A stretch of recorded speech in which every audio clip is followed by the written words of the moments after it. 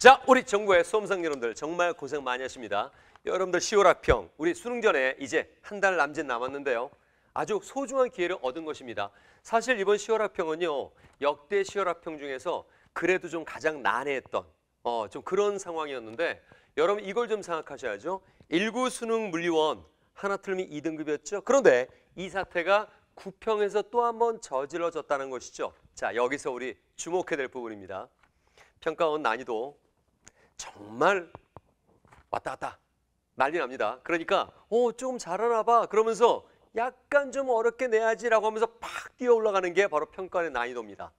또 너무 어려웠어. 너무 등급컷이 낮아. 아우 너무 어렵나 보다. 좀 쉽게 내면 또뻥 하고 일구 수능에 그런 사태가 벌어지는 이런 난이도가 들쭉날쭉 이거 갈팡질팡 아무도 예상하지 못하는 것이기 때문에 아무래도 이렇게 연이어서 일구 수능과 구평에서 이런 좀 너무나 우리가 어이없는 상황이 벌어졌었죠. 그래서 올해 수능 물리원 같은 경우는 여러분 정말 각오 단단히 하시고요. 난이도가 어떻게 뛰어오를지 아무도 모르는 것이지만 분명히 매우 매우 당황스럽도록 어려움은 느낀다는 겁니다. 이거 반드시 명심하시 바라고 이번 이 10월 학평 같은 경우에 그러한 수능장에서의 변수 이런 것들을 극복하기 위한 좋은 경험이라 생각하세요. 그래서 어, 이번 10월 학평 같은 경우는요. 역대 10월 학평이 가장 어렵다고 좀 생각이 드는데 이유는 뭐냐면 제가 이제 캐스트라든가 뭐 여러 파트에서 여러분들 말씀드리지만 현장도 그렇고 문항 속의 변수라는 겁니다. 그러니까 여기 수능장의 변수라는 것은요. 어떤 수능장의 뭐 분위기의 변수 이걸 얘기하는 것이 아니라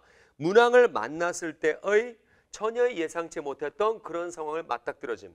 그럼 사고가 막히는 이런 부분이 그날 결국 작살의 사례로 시작되는 거죠. 그래서 이 문항 속의 변수가 좀 상당히 많이 존재했다는 거. 좀 많이 여러분들은 좀 힘들었겠지만 좋은 경험으로 생각하시면 되는 겁니다. 즉 이런 것이죠. 1페이지 4번. 물론 1페이지에 운동역학이 나오지 말란 법은 없습니다. 그러나 보통 1페이지는 슬슬 몸을 풀면서 가는 부분인데 이 1페이지에 운동역학에 대해서 어, 어떤 정량적인 약간의 산소가 좀 필요한 그런 부분들이 있었습니다. 그러나 이제 시험을 치는 사람들은 좀 당황이 됐겠죠. 그러나 버트 항상 뭐 막히면 하라 그러죠. 가스도 정의! 이것부터 출발하는 것이죠. 출발해봐요. 동일한 가스도 어, 시간 분의 속도보다 바로 뭔가 보이기 시작합니다. 그래서 바로 가스도 정의, SVT 이걸로 간단하게 팍, 셔트 짧게 갈 수 있는 부분인데 아마 여기서 많이 당황했었을 겁니다. 이게 운동역학에 대한 트라우마가 너무 강해서 그럽니다. 자, 그래서 이 가장 기본이 되는 정의, SVT 이걸 구사한다면 저 어느 정도 쉽게 좀 1페이지라도 좀 당혹스러워 있었어도 갈 수 있었을 텐데 여기서 아마 그런 좀 어, 당황스러움이 생겼을 것이고요. 또 2페이지에 딱 넘겼더니 자 케플러 뻔한 케플러 문제인 줄 알았는데 보다 보니까 어, 뭐 이렇게 다시 그 위치에 돌아오는데 걸리는 그 주기를 물어볼 때 뭔가 좀, 좀 그래요. 처음 만났다고요? 물론 최종 배수 이런 개념이 들어가 있지만 사실 버트 이것 역시 마찬가지로 항상 강조드리죠. 뇌 속 서술하라라는 것이죠. 아니 이것의 주기가 얼마, 이거 주기가 얼마, 주기가 몇 대 몇일 때 같이 만난다는 것은 여기다 몇 배를 했을 때와 몇 배를 했을 때 같은 시간이 될 것이냐 그게 바로 최종 배수죠. 우리는 이과라는 거죠. 보니까 이 정답률이 요거 정답률은 30% 그래요. 이것은 뒤에 있었다 칩시다. 그런데 이거 정답률은 33% 났다는 거. 그러니까 결국 앞에서부터 시간 잡아먹는 귀신에 계속 홀려 들어간 거죠. 여기서 시간 잡아먹다가 여기서 이거 뭐야 이거 뭐야 하다가 시간 잡아먹다가 결국 이런 부분에서 이제 후반부로 가면서 18번에 어 이거 매우 훌륭한 문제죠. 기. 그래서 선생님이 우리 기출사다리단가 이런 수업 중에 제가 이런 것에 대해서는 이거는 부력 문제라고 보통 말씀을 많이들 하시는데 부력 문제 아니에요. 이게 바로 유체 정역학이고 제가 여기서 도 파스칼 법칙이 적용되어서 간단하게 갈수 있다는 것도 말씀드리겠습니다. 그래서 기, 기에 관한 분석인데 역시 힘의 평형이 중요한 것이지 부력이 뭐야? 부력 로Vg 계산하는 거 이게 먼저가 아니라는 것이죠. 그래서 제가 이 안에 이렇게 실이 바닥에 있는 경우에 저울 이때 기에 대한 분석 자 그릇 요 전체 기의 분석 물만의 기의 분석 또 물체만의 분석 이걸 반드시 꼭 들어가야 된다 그랬었죠. 또한 은근 헷갈리고 많이 헷갈리는 거죠. 이렇게 위에 실에 매달려 있었을 때 이 전체 기를 봤었을 때이 장력은 외력이라는 것. 역시 기 거기에 가나 상관관계 상관관계 두 번 하는 겁니다. 짧게 갈 수 있는데 여기서 역시 마찬가지로 막 지나친 산수 계산인 줄 알고 복잡하게 산수 계산하다 보면 결국은 시간도 낭비될 뿐더러 또 후반부로 가면서 특수상대성 이론 적용되죠. 후반부의 5분은 평소의 5분이 아니죠. 거의 뭐 1분도 안 되는 몇십 초밖에 안 되는 부분이죠. 후다후다 파파박 갑니다. 여기다 이제 나타나는 특성 중에 하나가 뭐냐면 여기서 제가 봤어요. 그래서 여러분들 어, 우리가 이제 그 정답률과 오답률이 나오죠. 그리고 이제 보기마다 봅니다. 어느 아, 선지 어느 선택지로 많이 쏠렸는가. 자, 20번의 선택지를 봤어요. 정답률은 어 26%. 아이고 이거보다 낫네요. 자, 그런데 저는 요 26%를 이거와 비등하게 보지 않습니다. 이유는 뭐냐면요. 끝에 있기 때문이거든요. 그러다 보니까 시가 다 쪼드린 겁니다. 여기서 요 선택지 2번이 정답인데 이제 봤더니 선택지의 선택률을 봤어요, 여러분들. 그랬더니 4번에 30%가 선택이 됐더라고요. 이거 뭐 얼추 비슷하지만 그래도 좀 많죠? 왜 이렇게 대다수가 30% 선택했는가? 왜 그랬을까? 혹시 이거 아닐까? 라고 찾아봤더니 아니나 달러. 그 OMR 마크 쭉 보는 데 있어서 선택지 4번이 세 개밖에 없더라고요. 그러니까 이제 끝에서 남는 거, 아 그래 4번이 그래도 가장 확률이 높겠지. 근데 아니었다라는 것이죠. 여러분 이미 이런 그 등분배 비율은요, 선택지 등분배 비율은 이미 깨진 지 오래입니다. 깨진 지 오래요. 절대 여러분들 이런 거에 현혹되면 안 되고 설령 제가 선택지를 체크했는데 2, 2, 2, 2 이렇게 나오더라도 절대 흔들리지 말아야 돼요. 자기가 제대로 풀었다면. 그러니까 사실 이렇게 나오면 사람은 흔들릴 수밖에 없는데 자, 이런 것들은 이미 깨졌다라는 겁니다. 자, 그래서 보니까 4번을 선택을 많이 한 것 같아요.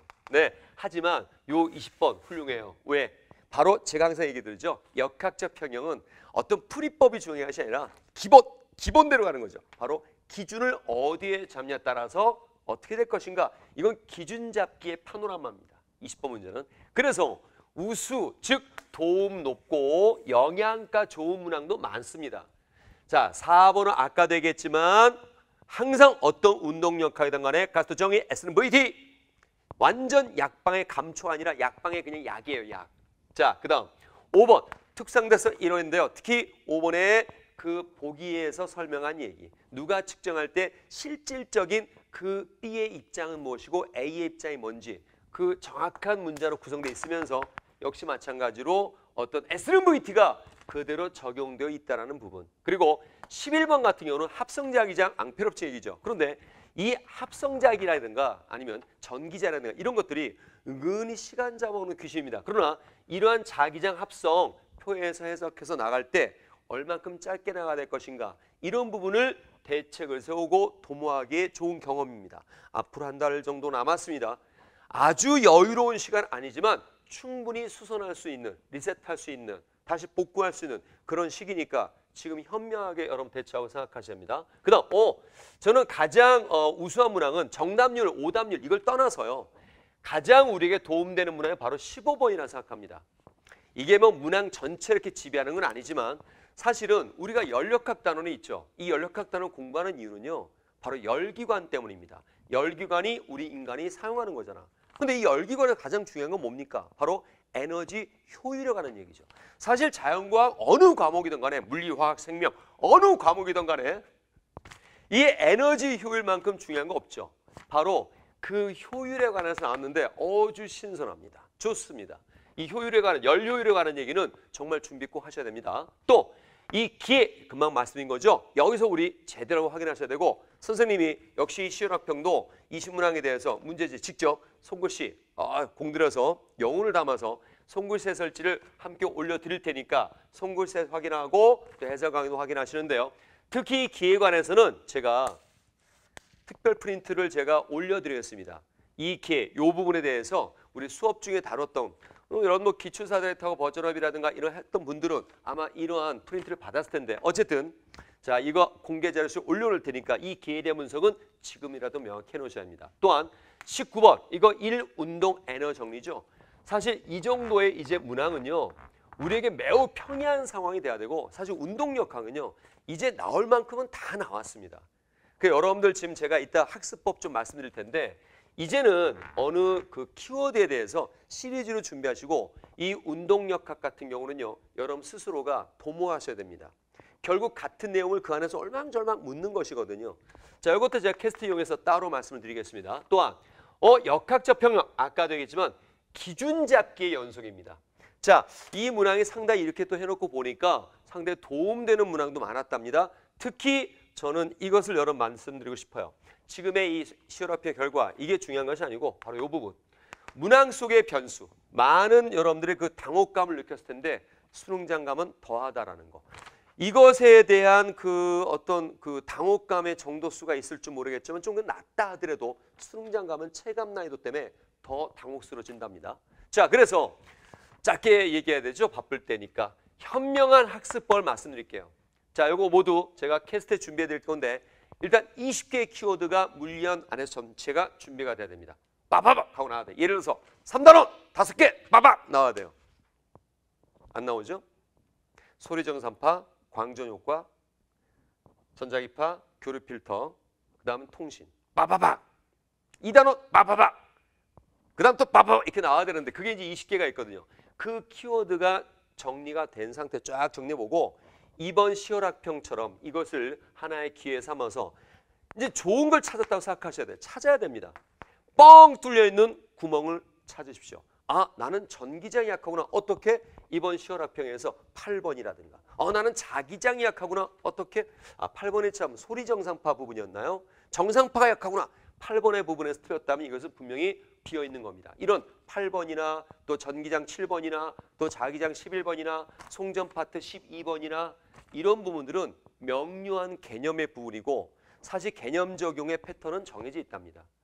저는 풀이법이란 말은 올리곤 쉽지 않은데 입에 올리기 쉽지 않은데 어느 정도의 그 패턴이 정해져 있어요. 근데 그 부분이 약하다는 거죠. 이 개념 자체가 명료하고요. 뭐 통합적인 요소가 이루어지는 부분도 절대 아니랍니다. 그래서 이런 부분에서 틀렸다면 아 그래 나는 이 소리 정상파에 좀 문제점이 있구나. 이 정상파에 대해서 시리즈별로 정리. 즉 똑같은 정상파를 계속 반복하는 겁니다. 물론 새로운 것이 아니라 자기 손에 있는 것. 근데 아직도 이걸 잘 못 찾겠다. 그러신 분들은 버실모라든가 극강 파이널 요즘 어이구 굉장히 뜨겁죠. 핫합니다. 극강 파이널 그리고 러셀 모의고사도 굉장히 좋죠. 이러한 모의고사를 통해서 이거는 실력 체크하는 것이 아닙니다. 지금 시기에 찾아내고 얼른 얼른 메워야 된답니다. 자 그런 부분으로서 이런 모의고사를 이용한다든가 해서 시리즈별로 정리하는데 똑같은 주제만 찾으십시오. 기출 같은 경우에는 이제 기출 사다리 책 같은 거 우리 같이 수업했던 것은 그 안에 키워드별로 쭉 순서가 잡혀 있죠. 그것을 반복하시고 제발 여기서 풀어만 된다는 건 의미가 없는 겁니다. 그래서 기출 문제 많이 풀어도 점수가 어, 그대로 비례해서 나오지 않죠. 풀어만 되는 게 아니에요. 뭐 1독했다, 2독했다 아니야. 왜 1독하고 2독하고 3독해도 안 되느냐. 이 문제의 겉모습에 대해서 스스로 유형을 나눈다든가 이러면 절대 안 된답니다. 이 유형을 나누고 풀이법을 준비하니까 실전 가서 그 겉모습 달라졌을 때 전혀 접근과 진입이 이루어지지 않는 것이죠. 그 안을 파고들어야 돼요. 그래서 그림을 제발 항상 얘기하잖아. 그림을 직접 꼭 그려보세요. 그림을 직접 그려봐야 그 그림의 구조와 문제의 뼈대를 자기가 알게 되는 거고 그러면서 그림의 접근과 해석이 이루어지는 초석이 되는 겁니다. 그래서 반드시 기출 문제는 풀어서 답내는 게 중요한 게 아니라 그 부분에 대해서 그 분석을 한다는 것은요. 그 문제의 구조와 뼈대를 분석하셔야 돼요. 이런 설정이 주어지니까 이렇게 되고 이렇게 되고 이렇게 되고. 그리고 또 다음 얘기, 또 다음 문제. 이 똑같은 문제를 시리즈별로 정리하는 겁니다. 그리고 또한 올해 학평, 모평 벌써 많습니다. 3월, 4월, 6월, 7월, 9월, 지금의 10월. 벌써 6, 22, 120개 중에요. 20개의 주제가 계속 한 회차에 하나씩 존재할 겁니다. 하나씩 뽑아, 하나씩 뽑아, 하나씩 뽑아.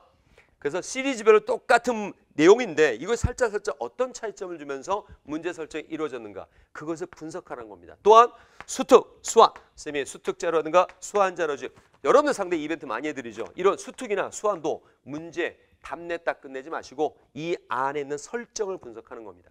이런 것들을 찾는 과정 중에나 바로 버실모와 극강 파이널입니다. 러셀 모에서 마찬가지고요. 자, 요 정도로 말씀드리고 나머지 필요한 학습법은 제 캐스트로 따로 올려드릴 테니까 바로 어, 이제 해설 특강 들어가는데요.